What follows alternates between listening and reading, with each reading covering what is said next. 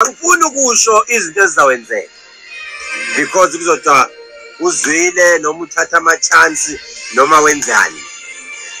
But what i will say is from the management top management eyazi ukuthi the office my office is in sabc la ethekwini lapho kozini kuya phansi phansi phansi kuya kumasakazi ngiyacela niphahle nithandaze. If ever kuthiwa ukholele ekuphahleni fihla kuye empepheni yakini. Faka iduku elimhlophe fihla. Uma ungafuna ukutshela abantu ukuthi wena ukholele ey'dalweni fihla kuye empepheni yakini faka iduku elimhlophe you are entering a high risk zone. Bona kukhuleka abantu khona businya khuleka abantu. Phelele amandla siye ngiright kodwa. There is a serious thing. One day yothi noma sengiboshwa amatatanga nje kuthe khuluma. Khuluma ngithi ngiyakhuluma yimani inkinga ukuthi izinyanga abelaphi bendabuko ningabathathi kancane. Izangoma zakithi ningayithathi kancane. This is deep. Very deep. If ever bengivunyelwa ukuthi go deeper go deeper. I was going to go deeper. Bese ngithi zibani nozibani wakuwabonani. Ma uzongena emsebenzini kwenzakalani? But let's leave it for another day. Because tosuke kube busy south africa futhi futhi ukhethelezi usephinde wathi i didn't say anything i just said.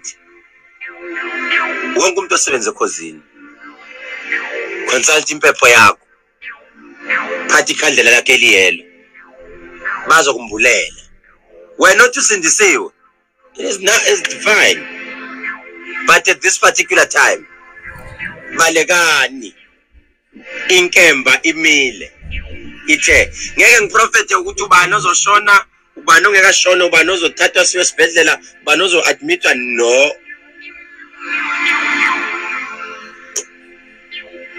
Just here to let you know that i'm praying for you. Nami ngiyanikhulekela. Nami noma ningaze nithini and one day eh nizo nizowuza umthandazo wami noma makuthi uyahlola noma kuthiwa ebusuku ayafika amaphupho. Uzobona futhi ukuthi this guy is praying for us. And akekho noyedwa engimzondayo no matter wakwathini ukhethele ezikambi wathini i'm one person what, that you guys you need to understand. Mina ngiyadlula entweni ngoba ngelinye ilanga you'll never know ukuthi uma unkulunkulu efika noma umidlozi lehlisa isibusiso liyosehlisa ngobani. Umuntu uma umzonda ngelinye ilanga uyofika ujesu mayelenge esiphambanweni. Ulenge esiphambanweni uthi baba bathethelele. Ngoba bakwazi abakwenzayo. Baba bathethelele ngoba bakwazi abakwenzayo. Ngizothi namhlanje umuntu wonke osemkhulume kabi ukhehlelezi wangibiza ngamagama wangibiza ngayo yonke into baba bathethelele. Ngoba into yangena ayikabangeni. Baba bathethelele bonke abenza ama-meeting ngami abadlala iy'tokufela ngami abahlangene ngamagama ami abanye bahlangene abanye babengazwani. Sebeyazwana ngoba kunomuntu oyedwa abahlangana ngegama lakhe. Baba bathethelele as we grow. We don't lose friends. But unkulunkulu uyasemvulela who the real people are. Uma siqhubeka sikhula asibaluza abangani. Kodwa unkulunkulu usikhombisa ukuthi this is the real brother that you need to, to hold the hand. Esigodini sethu zilokufa bayokubamba bayokufaka phakathi. Aphela umuntu ohleba naye. Ngoba ngelinye ilanga uyohlala nesitha sakho ahlebe ngawe.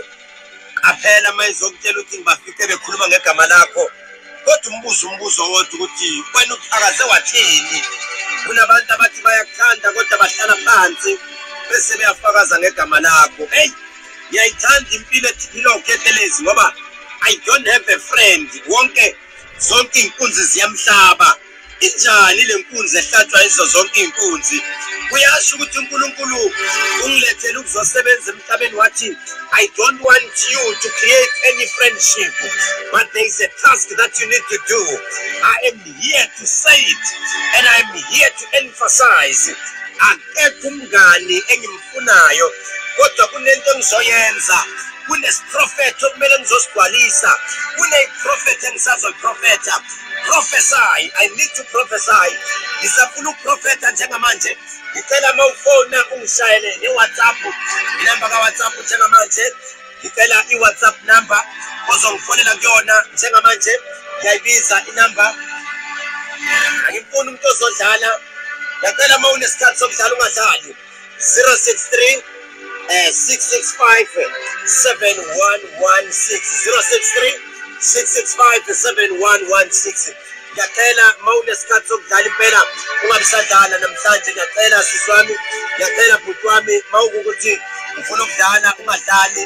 Ngempela ngempela ungadlali namhlanje ngoba impela isikhathi sithanda ukuhamba.